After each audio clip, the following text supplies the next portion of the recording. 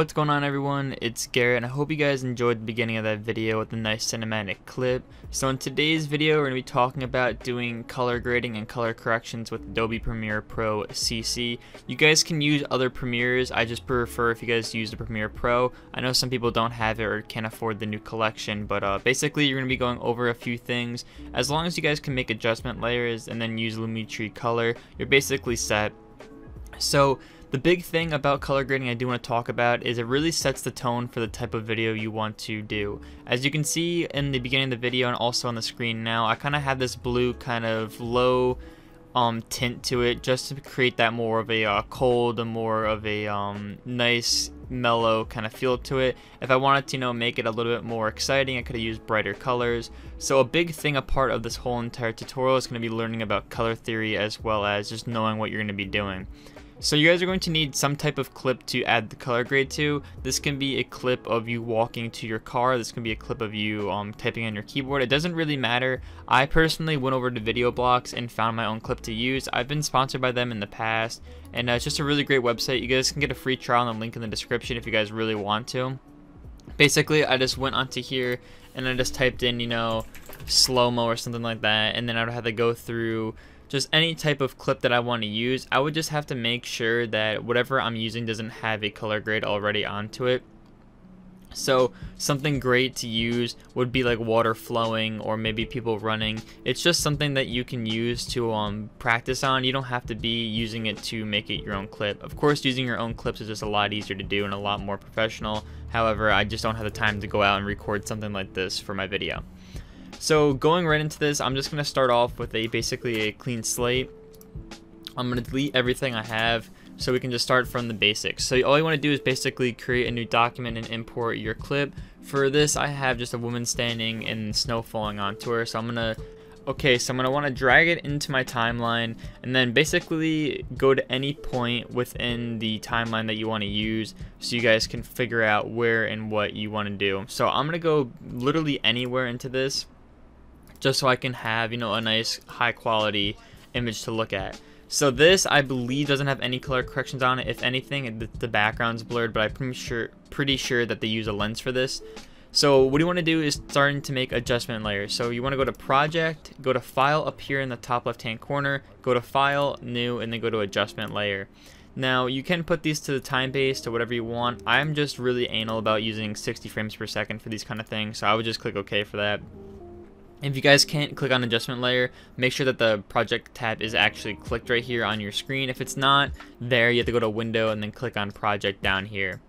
So all I want to do now is drag that onto the top of the clip. Now, I don't need the whole entire time to do this, so I'm just going to pretty much make these a little bit smaller so that my computer renders everything faster.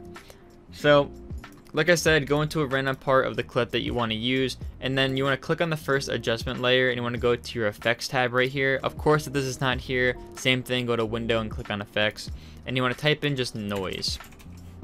So you want to scroll down until you get to the noise and grain section and click on just straight noise and drag it onto your adjustment layer and then click on your adjustment layer go to right up here to effects controls and then you're basically going to have everything up here now what you want to do next is unclick right here it says use color noise. If I make this a little bit bigger you guys can see what it says.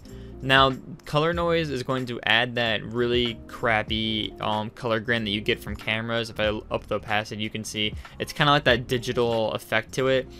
And you really don't want to use anything like that whatsoever just because it's going to really tone down everything. So you want to unclick use color noise and it's going to make everything black and white to kind of create that cool effect. Then you can just lower your opacity and you don't want to make just a crazy amount of noise like that just because it doesn't look as clean. You can use something around like 10. And of course, if you don't want to look at it, you want to see what it you know looks like without it and looks like with it. You can click right here to this little eye, you know, take it away and put it together. So, you know, using something like 10 really kind of creates just a little bit of that grain effect to kind of create that vintage feel to it. It's very good for color grading, and personally, I like it a lot. If you don't, you don't have to use it. The next thing you want to do is go back to your project tab and click on it one more time. Go to File, New, Adjustment Layer, and then same thing, you guys can put it to whatever frames per second, and then just drag it to the top. So this is when you're going to start doing your color grading, and this is when you're going to want to really figure out the style you want to go with whether you want to go with a cool theme to kind of create a very mellow approach to this, a very warm. Depends really on your clip as well, how you want to do this. I recommend doing something more of a cool colors for clips like this. If you guys want to use maybe a cinematic of you hiking, something a little bit more warm to kind of get the um, viewer a little bit more excited. So when you have that, just click your adjustment layer and bring it in.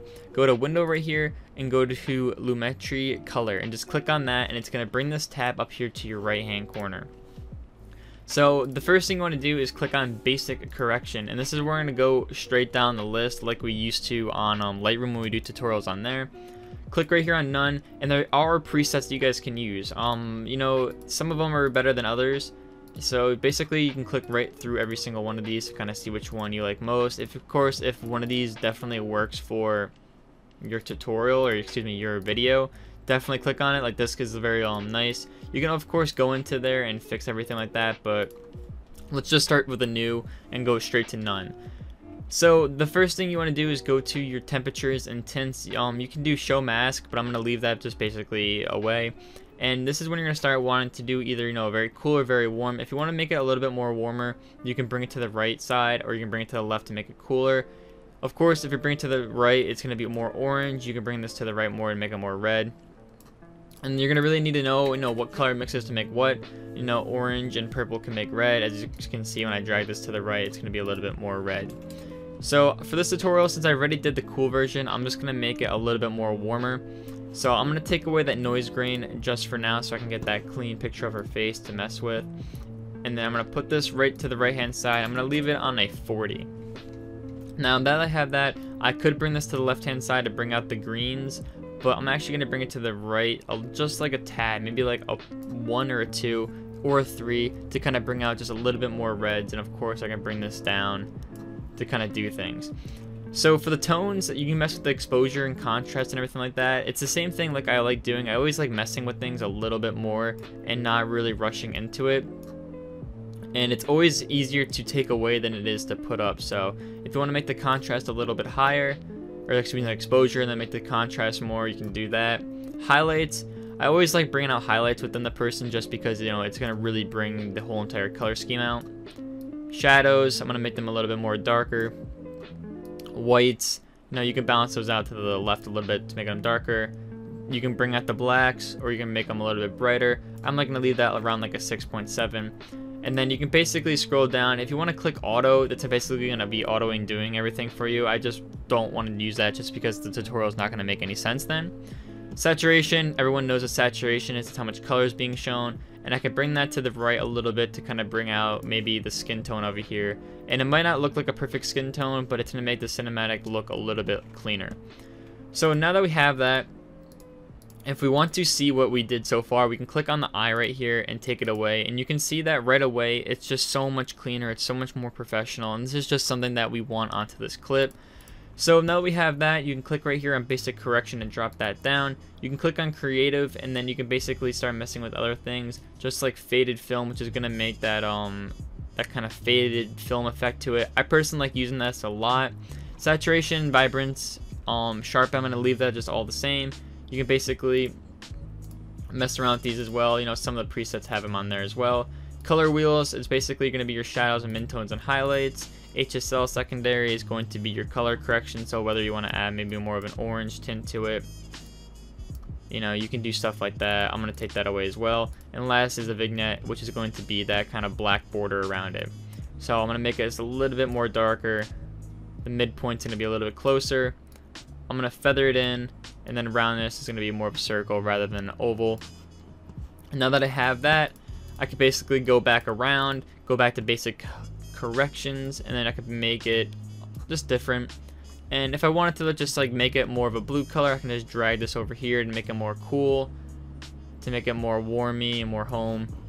And now that I have that done, I can add that noise layer back onto it, or I can take it away whether I like it or not. So this is really how you do it. This is kind of the cool effects to it. Now, if you want to add music to this, you really need to find just a simple kind of song to match everything. So what I usually do is I go into youtube.com and I'll just type in something like b-roll music. And the reason behind this is just because I need to find a song that can work And you don't want to use a very big high techno song because you don't want things to be pumping unless of course that's your style. So you can have songs like that. The song I just recently used was Aram Left Alone. So I'm going to drag this into my Premiere clip. I'm going to put it right here in the bottom. And I can just play the beginning song with you and you guys can just see how it looks for yourself.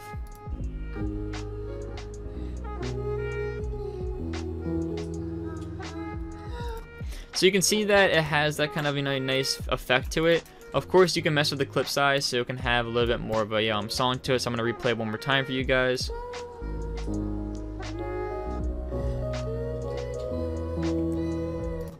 Alright, so you basically get the hang of everything, and this is just basically how everything works. And, you know, you don't want to rush everything like this. Of course, you want to take your time, you want to do things. If you really want to go back and mess with other things, you can click on adjustment layer one more time, and then you can click on like show mask, and then you can just basically click on like parts of her face. That's not really something that I like doing. I like doing it all myself. You know, if you want to make it a little bit more cool, maybe bring out a little bit more reds or maybe greens, just to kind of even everything out you could definitely do that.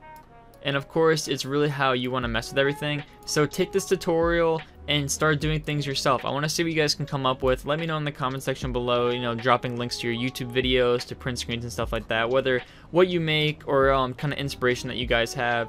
So let me know how everything works. If you guys enjoyed this tutorial and enjoyed these kind of tutorials on my channel, let me know in the comment section below. Of course, you guys can join my Discord chat. It's basically made for designers and people just to have fun with art. Very good for getting um, client jobs actually. I drop a few into the chat all the time. You guys can talk to other designers. You guys can have fun. It is basically show your work, get some good opinions, and then figure out what you want to do from there.